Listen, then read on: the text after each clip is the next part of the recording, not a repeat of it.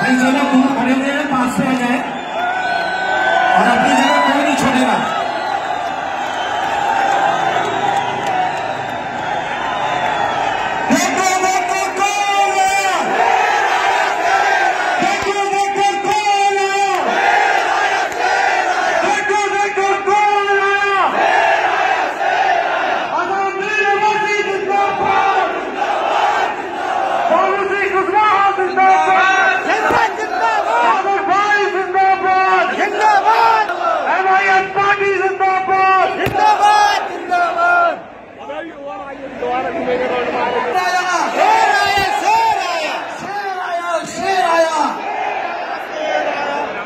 ساتھیوں